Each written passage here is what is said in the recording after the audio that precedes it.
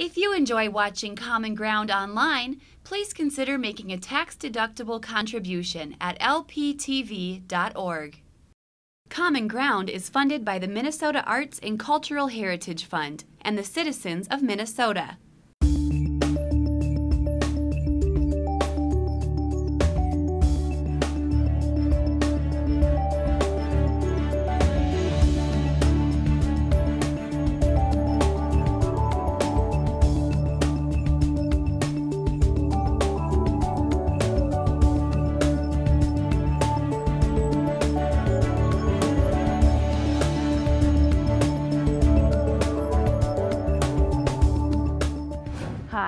Rachel Johnson, and thanks for joining us. Tonight on Common Ground, we visit a momentous period in Minnesota history. We're taking you back to the early days of logging at the Forest History Center in Grand Rapids.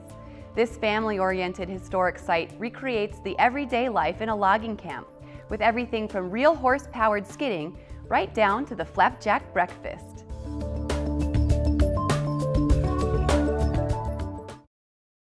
Hello, I'm Becky Jennings. Welcome to the Forest History Center in Grand Rapids, Minnesota. We're one of 26 historic sites that are operated by the Minnesota Historical Society.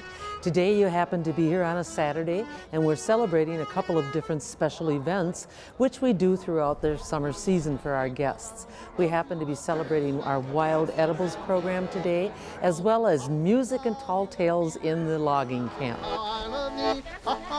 I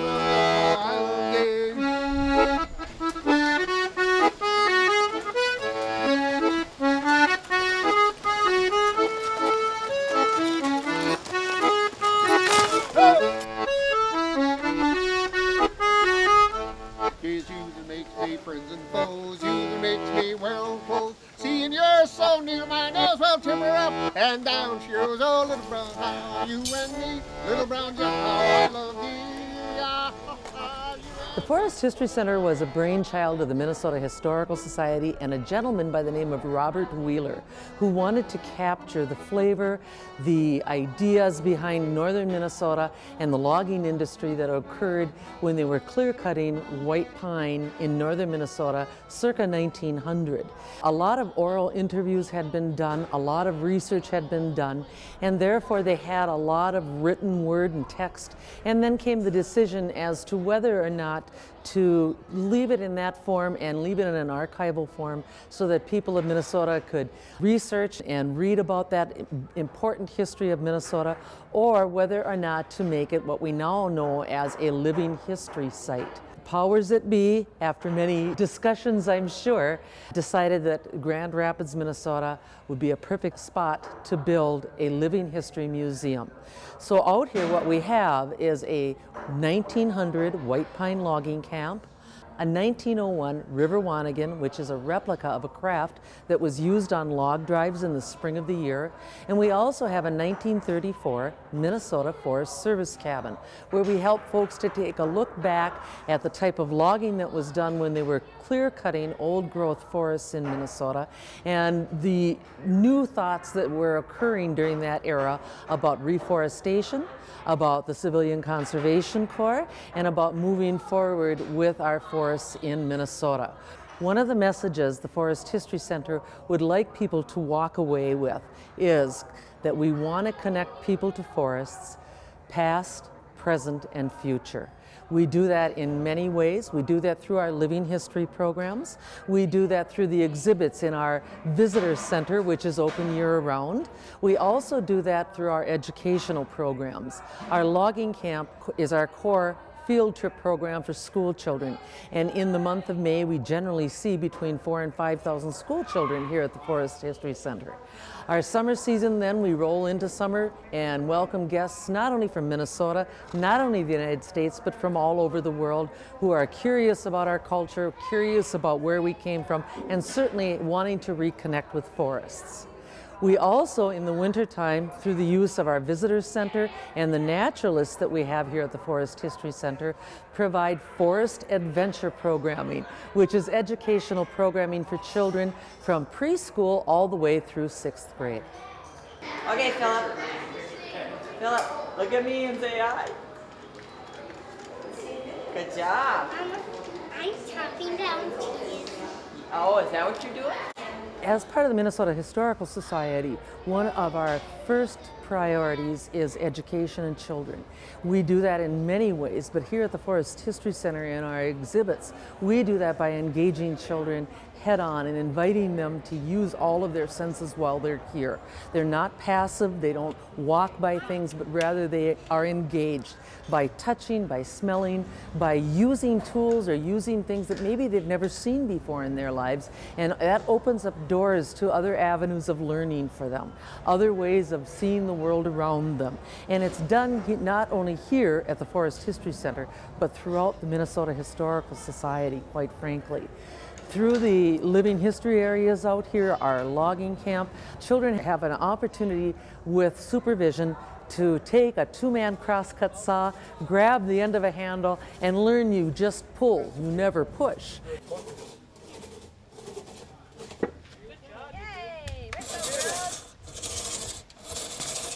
Doing it, Landon? oh, have Dad pull. Pull, pull, pull, pull. Yay! Anyone else not do it? Dean, you want to do it? But they're able to cut logs down in the logging camp. They're able to see draft animals up close and personal when they're here. Now, folks my age probably grew up with a lot of that around them. Today's children don't have that opportunity as much. And so as I've worked here for the last 20 some years, I've seen a great change in our audience and how they perceive things.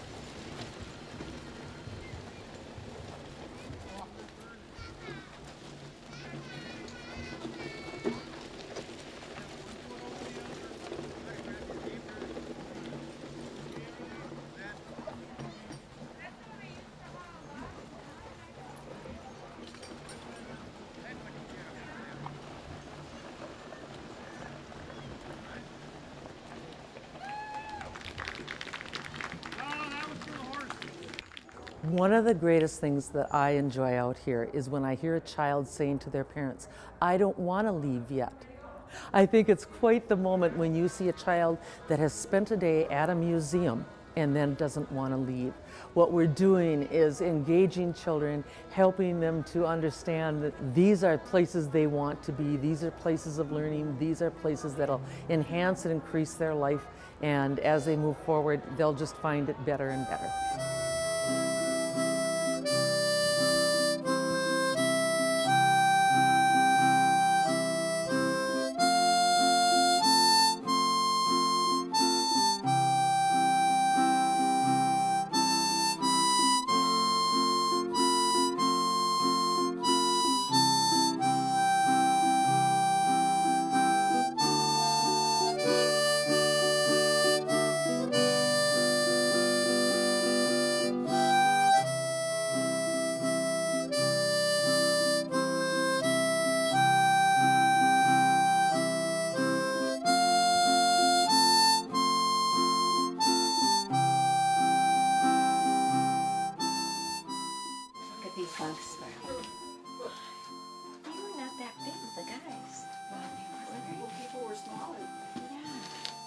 Yeah, but some had to be big. Oh, look at they play checkers and and cribbage.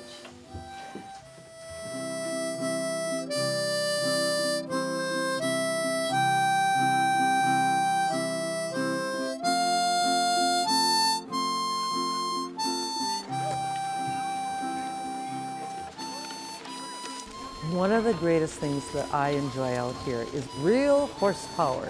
We partner with the North Star Draft Horse Association. Last year for Real Horsepower, the North Star Draft Horse Association brought out 24 draft animals. They brought out some teamsters and they did demonstrations on skidding, sleigh loading, and jammer loading. It's a wonderful program and we certainly hope that you consider coming out for that as well.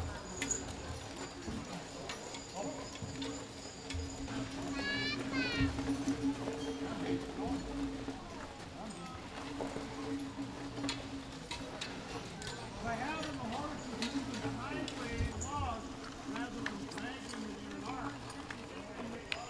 That's why we can get the sixteen foot log. I'm Knut, uh, the barn boss here at the Forest History Center. Today we have horsepower days. We've brought in 18 horses in here to work to do skidding demonstrations. They're all members of the North Star Draft Horse Association, all friends that come here and volunteer to do this. The demonstrations that are going on here today will be log skidding, cross haul loading, and jammer loading with the horses. The team I have here standing with me are a pair of Belgians. They are Bud and Duke, and they are the cross haul team here today.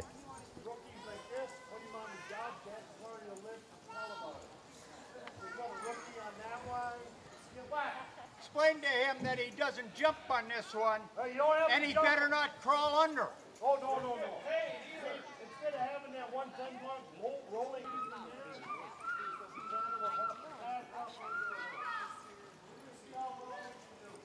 Get her snow. But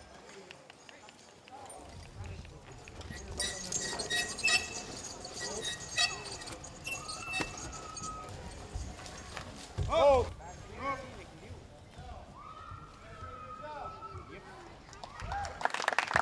Now they're gonna take it off. The event started about six years ago here, uh, bringing in the horses, and we do it on the last Saturday in August. What it does, it gives an opportunity for the locals or anyone coming through to stop on the last Saturday of August here to see what a 1900 logging camp would be like, full of horses, with all of the stuff that the Teamsters would have did with their horses.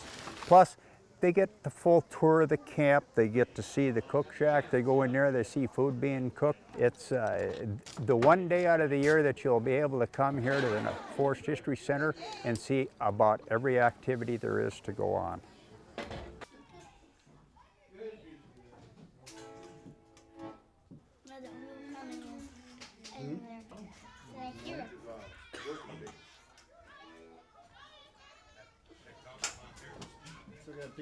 Apple right there.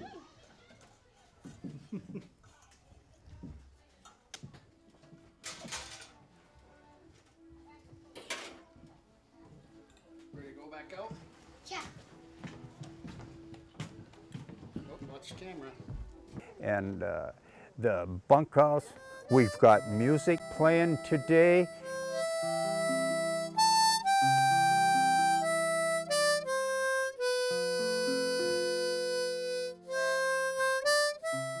We're at Northwood's number one logging camp, and you are in the bunkhouse, or the sleep camp, or the ram's pasture, if you will, where I've got room to lay their heads down. 72 little lambs in here. And the bull cook, which today I am, I would assign bunks when the fellas came in. You want to put the teamsters closer to the door because they get woken up early so they can go take care of the horses. And the more status you had, maybe the, the better spots you had. Not that real close to the stove was a good spot because that got pretty hot. So, and usually the bull cook, actually they just do chores around the camp. So whether it's an old timer like me or maybe, maybe in some cases a younger younger fella that didn't have a lot of experience, but so doing chores, firewood was a big one. Cutting, hauling, splitting firewood, keeping all the fires in the camp going. Taking the noon meal out to the men, hooking up a horse to the swing dingle and taking that out, or washing towels and aprons for the cook shack every Sunday. Waking the men up in the morning, daylight in the swamp. Roll out your burning daylight! Anyway, some of the things that a bull cook would do. Back in the olden days, when they had oxen in the camp, that was the job to cook the, the mash for the oxen. Because for some reason, they, they can't digest it as easy unless it's cooked up. So even though you see no oxen anymore here, and very few in 1900, the name just stuck, just like names tend to stick, don't they? Well, now this here is not only the place where the fellas sleep, but it's also what you might call the social hall. With it being Saturday and all, we don't work on Sundays for the most time, and so we're going to have a dance here tonight.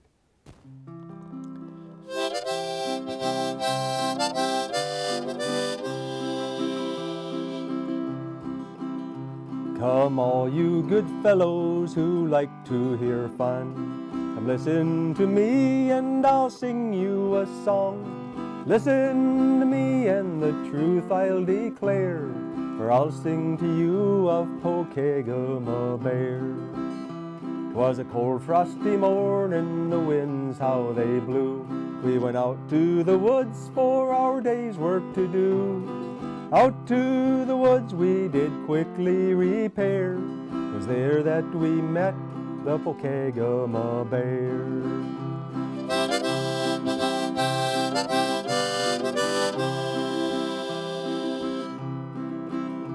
Now Morris O'Hearn, 'twas the bold Irish lad. He was building a fire out in the pine wood. He rapped with his axe when he got there, and out jumped the monstrous Pokegama bear. With the roar of a lion, O'Hearn he did swear, Run boys for God's sakes now, 'cause I found a bear. When out from the brush, old Jim Quinn he did climb, said to hell with the bear, kill your own porcupine.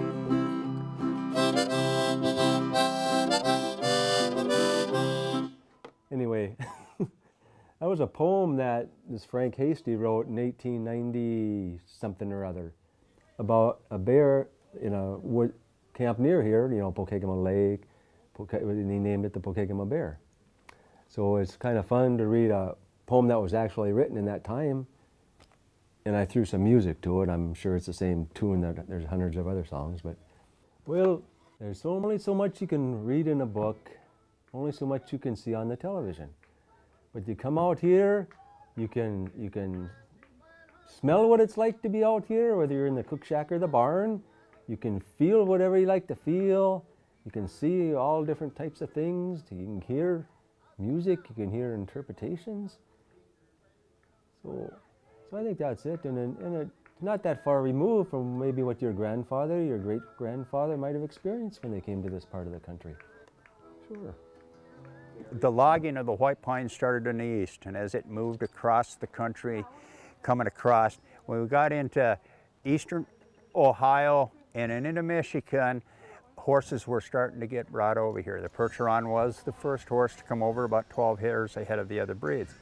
So they started using horses, and when they started using horses over oxen, they almost doubled production of putting it out. They were a little more expensive to feed and take care of, but the production that they were putting out was worth the expense. So oxen went a little bit to the wayside. Not that they weren't bad, it was just that it was faster and they were looking at building America. They wanted this lumber. Everybody was wanting lumber. They were building towns. They were settling this country. So that's why the horses come into play. And the horses kind of took over the logging industry in the north. And uh, as I said, Percherons were the horse of choice at that time because they were the first ones to come. The horses in a logging camp will work six days a week, uh, providing it doesn't snow or if something's wrong. That they have to work on Sundays. They do get Sundays. Uh, their duties is skidding the logs out of the woods to bring them to the landing areas. Their duties are also to run the water tank to be able to ice the roads down because we have to ice roads to be able to move big loads. We have cross-haul horses for loading the sleighs and jammer horses to run that. We also use the horses to pull the sleighs down to the river. In our case, we move our logs to the river.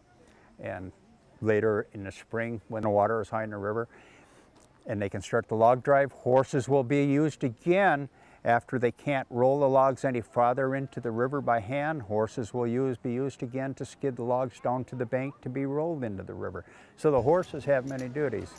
They have to help build the camp, move from camp to camp. So without our horses, we can't get the job done and help build America. Each horse is going to eat approximately 30 pounds of hay uh, every day. Uh, we feed oats according to their weight. We feed a quart of oats for 100 pounds of weight. Uh, on an average, 17 and a half quarts of oats that horses are going to get every day. We use oats because it's higher in energy. We don't need the horses real fat. We just need them in good shape and the energy and stuff. We feed them hay. After the horses leave the barn, as the barn boss, my real work starts then. I got to get that barn cleaned. I got to get the bedding all back down. I got to get hay ready for them. Horses are also fed their grain three times a day. So at noon when the men have their break, the horses also get their dinner. Good job, Hannah. Did wonderful stepping over that. Most people today in modern times see a load of wood going down the road and don't realize where it comes from. When they come out here to the logging camp and see how it was done in the 1900s, basically it is still done that way today, except machines do it instead of men. A lot of the inventions, a lot of things that they used and come up with back in that time are still in use. They're just a little bit more modern today. And a lot of people don't understand that. We were the forerunners to just about everything you use today. A couple of samples, for instance, this A-frame jammer over here. We use it with cables, we use it for men to swing it.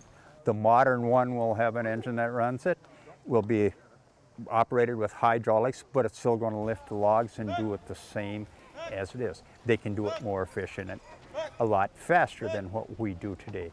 But that's where the design or this idea come from that we're doing it with horses, let's do it with machines now. Same way with skidding logs. The skidders skid the logs the same as what the horses did. It's just that it's all automatic. They can pull levers and do the job. They don't have to get down and do the physical work that we did in 1900. So basically it's still the same as what we did then with just a little bit easier equipment to do it with.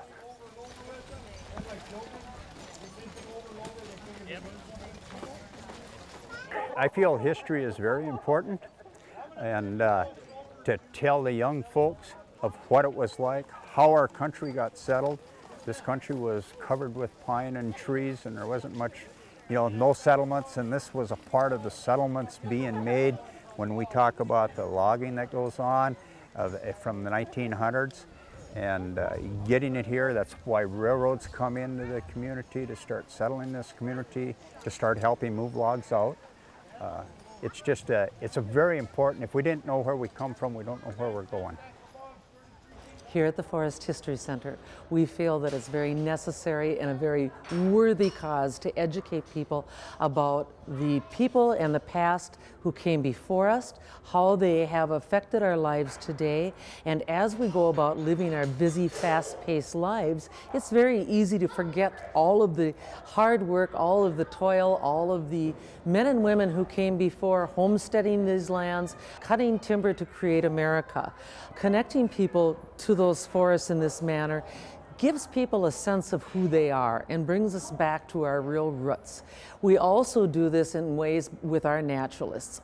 Our naturalists, for example, here today doing our wild edible program, have taken master naturalist courses. And so we find there's a great interest in our community that we serve to find out about the natural landscape around them. Northern Minnesota in particular, in my mind, has this vast bounty of state lands, of government lands, federal lands, and some privately owned lands, obviously. And a multitude of things growing on them. People want to know about the trees that they have on their land, how to harvest them. People want to know about the wild edibles on their land and the wild plants on their property. The Forest History Center is one of many resources that are available to people to find out about those specific subjects. The program that you're seeing today is Wild Edibles, and it's a program that Judy Sutherland and I do. And what we're doing is we take people that are interested in seeing, gathering, and preparing the wild edibles. So we get some sampling, get an idea what we're going to look for. We see a short slide program in order to get some visuals, and then we actually go out and see what we can come across. So we're going to go for a walk, see what we can find. Sometimes we'll gather, we'll sample. If it's edible, raw, we'll get a chance to do that. But we just go out and try to show everyone a little bit of what's available. A real common thing to gather and, and eat or try is wood sorrel. Grows in most everyone's yard. It's got a nice lemony flavor. It's kind of interesting, so you know you can just go pick it and eat it. Cattails in the spring are exciting just because it's spring. And then the, my, my favorite item to gather in the spring early are the fiddlehead ferns because there again, it's spring's coming.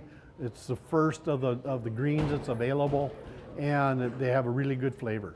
The Forest History Center is offering this program to enhance the existing programs that we have on our site because we're gathering from the forest it kind of makes sense that would fit in with the forest history.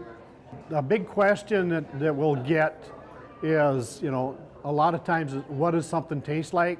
Well, it tastes like what it is, so that's important. But also remember that when you gather, know what you're gathering. So that's a big part of this program is we try to help you learn what to gather, what's safe, what's not. Also, some of our wilds can be over harvested, so we talk about that. We offer two classes. We offer one in the spring, one in the fall. So if you want to get signed, and we have to have you sign up. If you want to get signed up for one of those classes, you contact the Forest History Center at 327-4483. That's our phone number. Or you can check our website at, at mnhs.org slash forest history.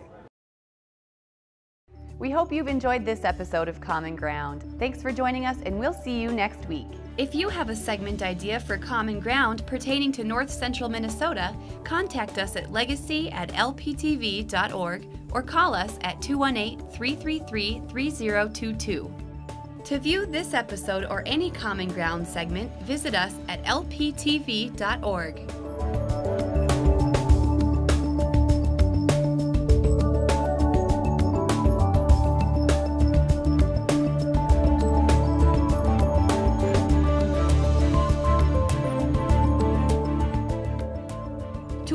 individual segments or entire episodes of Common Ground, please call 218 333 3020. Common Ground is funded by the Minnesota Arts and Cultural Heritage Fund with money from the vote of the people on November 4th, 2008. If you enjoyed this episode of Lakeland Public Television's Common Ground, consider making a contribution at lptv.org.